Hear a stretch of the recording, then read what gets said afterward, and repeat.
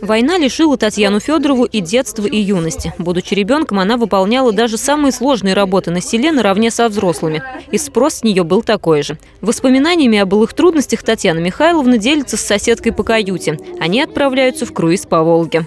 Нас очень радушно принимали на этом корабле замечательном.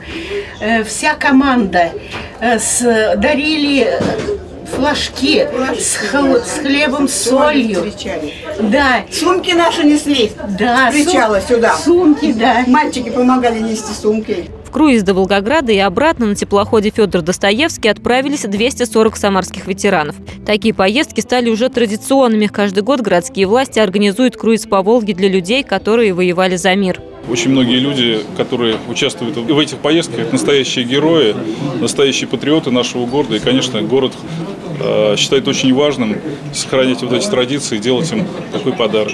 Мы старались, чтобы этот теплоход был исключительно для тех, кто а, действительно воевал. Каждый из них э, еще раз побывает, может быть, даже на том месте, где кто-то воевал.